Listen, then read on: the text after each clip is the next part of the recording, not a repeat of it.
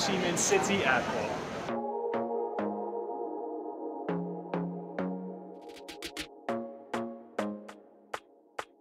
The reason that we came to this airport way too early was because we had a plan.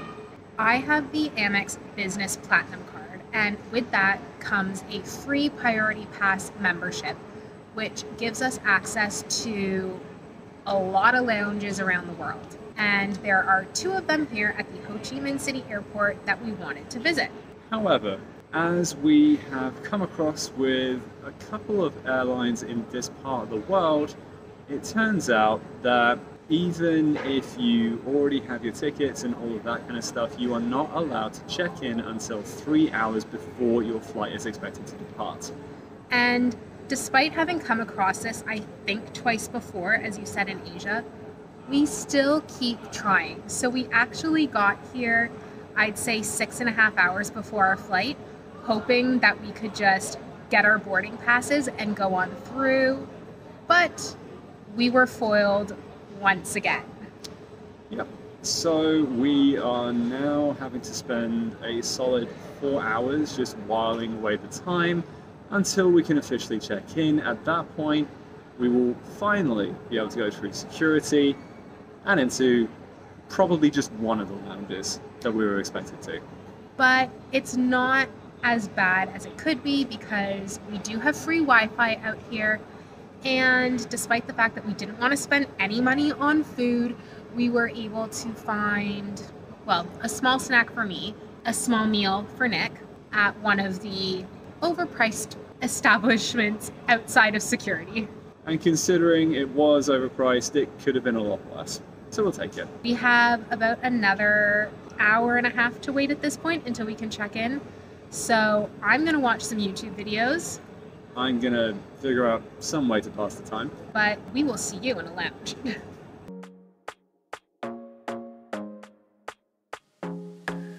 So there's been a little bit of a change of plan. We were going to use our priority passes to get into a lounge, but then when we checked in, we were offered access to the business class five star lounge. So we thought, let's check that out instead.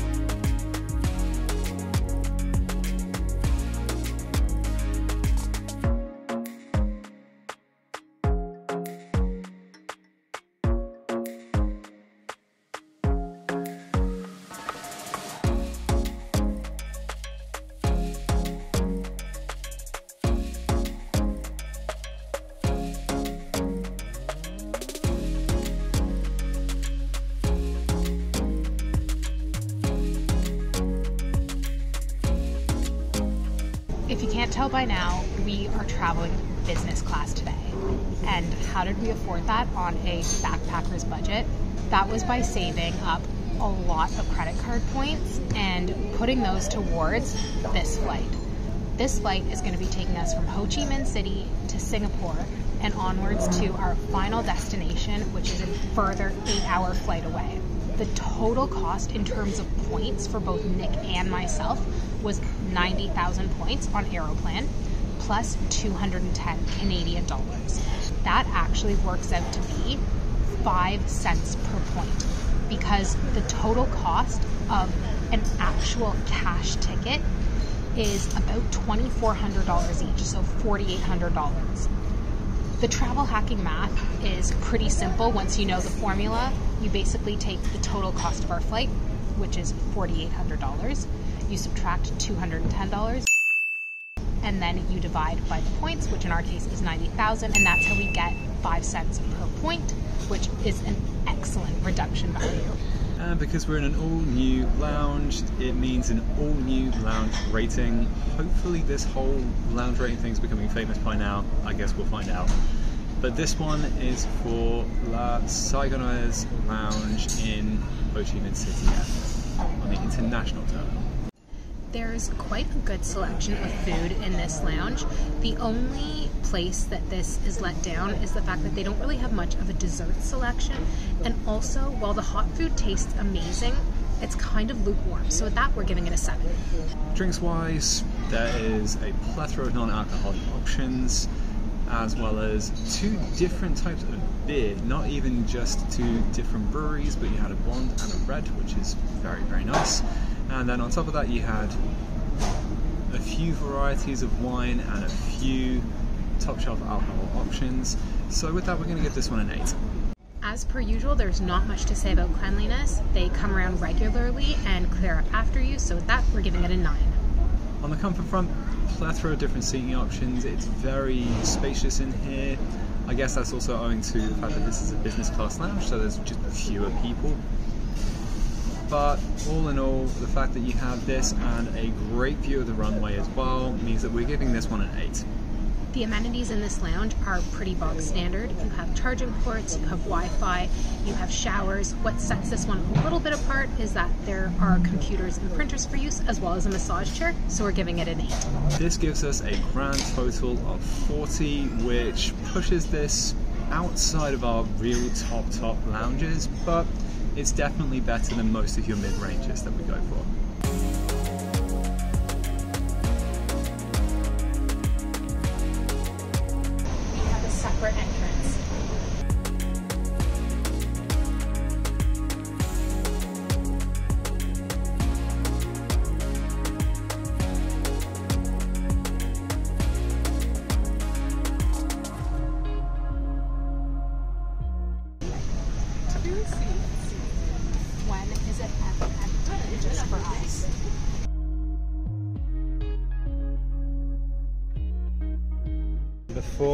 Even sat down, I can clearly see a pillow and a blanket, a couple of outlets, and some headphones.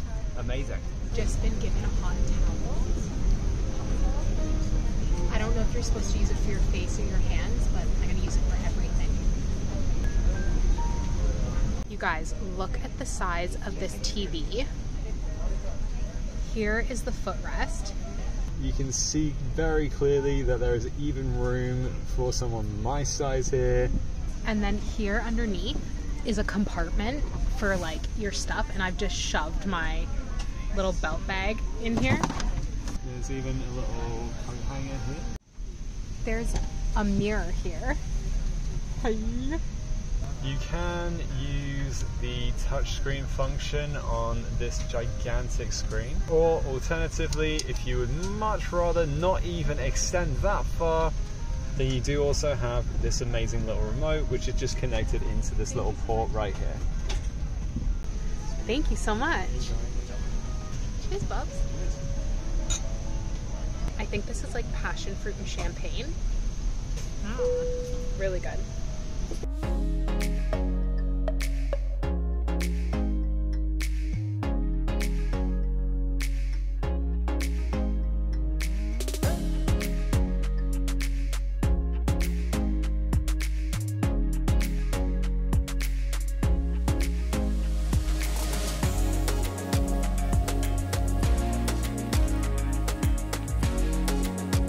I have 24 minutes left in Barbie, so I will continue that on our next flight.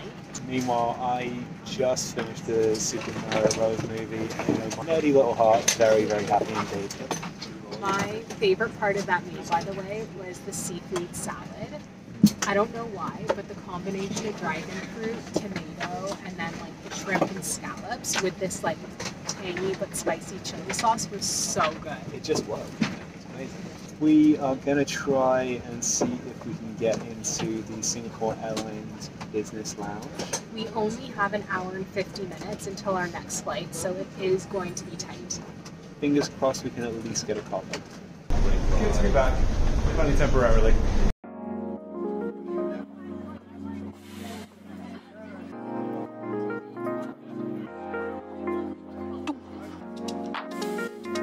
Okay, babe. Gate A4. Okay, remember, pieces of paper. Pieces of paper.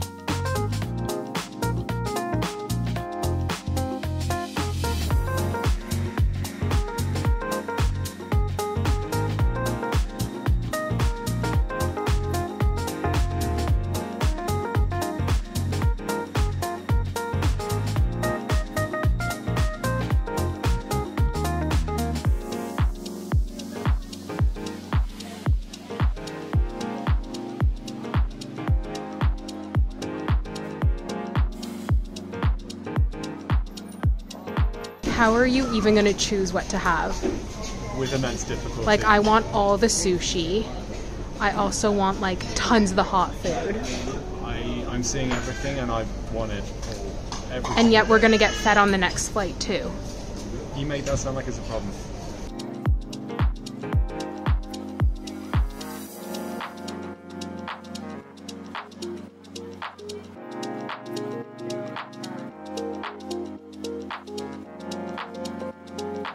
Turns out that they have Asahi Super Dry on tap. Like literally, you just put the glass in, you press a button, it just pours you a pint. It's amazing. For any whiskey lover out there, this is the Ardmore Triple Wood Peated Whiskey. I love anything that has multiple woods in their casks to make the whiskey, so I'm very, very excited about this one. Cheers. So cheers. This Sauvignon Blanc is really smooth. This is beautiful stuff. Up there with some of the best I've tried.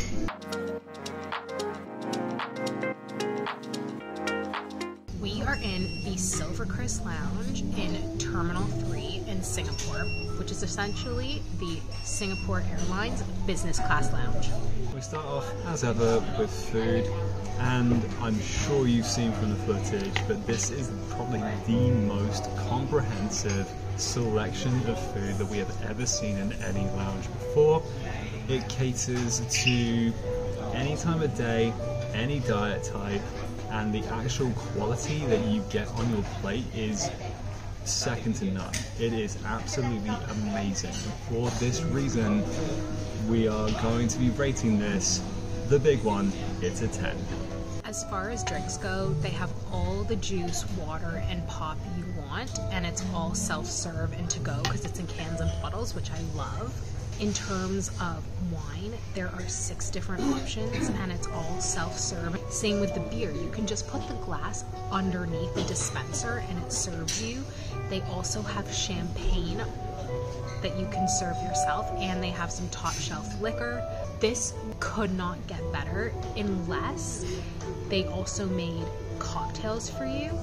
However, unlike the other lounge where we gave it a same rating, this one's dispensers are really cool, which the other one didn't have, and this has better wine selection, which is why we're giving it the equivalent rating of a 10. Cleanliness wise, this is quite a large lounge, so it is kind of hard to maintain, but there are staff that are very, very attentive, that are coming through every minute or so to make sure that everything is good, and certainly we've got no complaints from our end, so we're going to rate this one a 9. In terms of comfort, there are so many different types of seating here. The only reason we've taken points off are because you can still tell it's a very busy lounge with the number of people, so we're giving it an 8 out of 10. On the amenities front, then this does have Wi-Fi, business centres, charging ports, shower rooms. The bathrooms even have every kind of toiletry you could ever need if you're between flights as well. So, because of the fact that they've gone that extra mile, even on the basics, then we're going to rate this one an 8. That gives us a grand total of 45 out of 50, which is the highest we have rated a lounge ever in this eight months of travel. This is pretty exciting for a number of reasons. First of all, it's our first time going to this part of the world at all, so this is going to be awesome. The second thing is that this is the first long haul business class flight I've ever done, so I'm pumped. And the third thing is that this is our first time flying on an Airbus A380, which is the double decker plane. And we're going to be on the top deck. Here we go. Business class.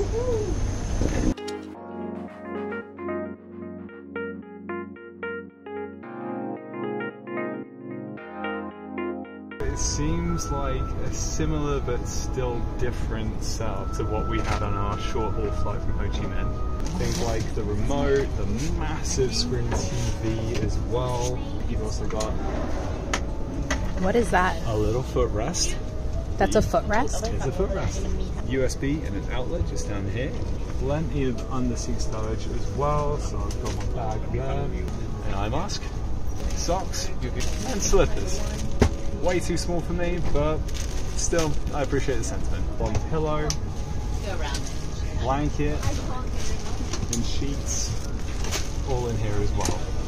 In this little cubby down here, we've also got a free bottle of water. These are the controls for the bed.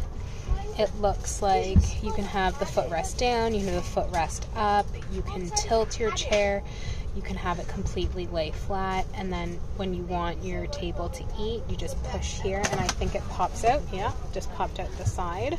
And then it curves around to you. Okay, here you go. And then it flips out.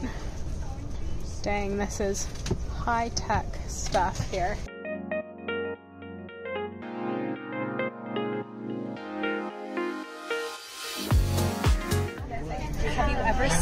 A more plush seatbelt? Like it has padding to it.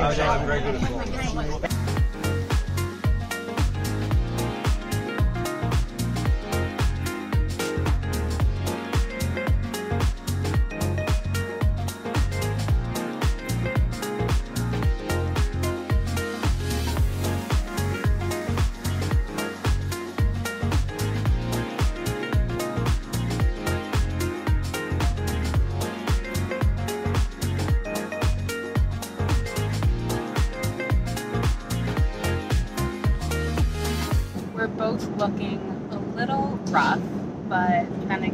it's been nearly eight hours on a plane. We are just about to land, probably in the next 20 ish minutes. Yep. It was a very comfortable flight, but unfortunately, for reasons unknown, we just couldn't quite get ourselves to sleep. So, kind of running on fumes, but we'll do our best. This is so comfortable. You could do this all day. Like it, this oh, is Yeah, this is luxurious, and like there's so space. The staff takes such good care of you. The food is superb as well. Like this has been a wonderful first experience of long haul business class. yeah, this is a huge upgrade compared to economy. Oh my god, yeah. It's been a fantastic experience, but now we're about to get into our new country, so that's super exciting.